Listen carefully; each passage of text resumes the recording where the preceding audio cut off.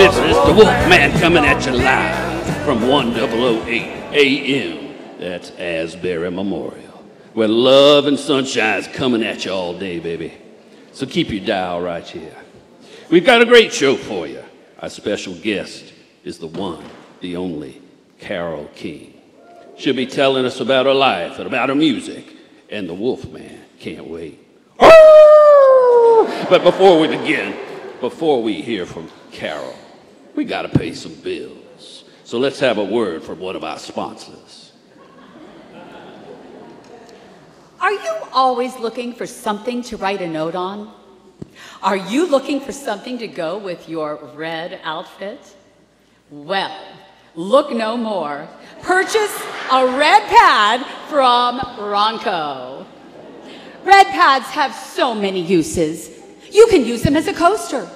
You can use them as a wallet. You can use them to serve hors d'oeuvres at your party.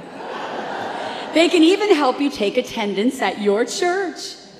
All you have to do is place one in the chair in the seat nearest the center aisle, and people can come and print their name on it and then any other information you want and pass it down to the rest of the people in your row. Isn't that a wonderful idea? You can even put in your email address if you would like to get church emails. Red pads will fill so many of your needs. Get your red pad today from Ronco. Red pads from Ronco. I've got mine. Be sure to get yours, baby.